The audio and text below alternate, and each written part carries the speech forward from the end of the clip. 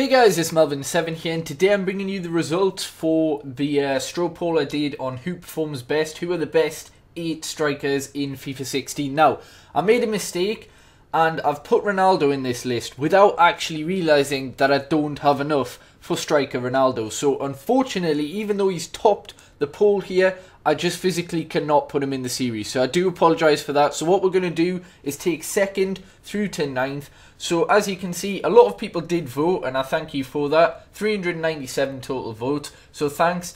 And um, a lot of good players did miss out, but there's a lot of very good players that are in this. So we've got a Aubameyang, Suarez, Ibrahimovic, Aguero, Bale, obviously a striker card, Dybala, Lewandowski, and Martial. Now, what I'm going to be doing is using their highest rated normal cards. So it's not going to be any informs, nothing like that. But if they do have an upgrade, like Dybala does, and like Martial does, then I will use the upgraded gold version. So anyway, let's put them into a tourn tournament bracket here. As you can see, I've already written their names. We're going to randomize the seeds. So this will tell us who's going to be playing who. A lot of big names in here. I've never done it like this, so I'll have to build hybrids each time I play these. But I think that's going to be perfectly fine. So anyway, let's generate it, see what we get.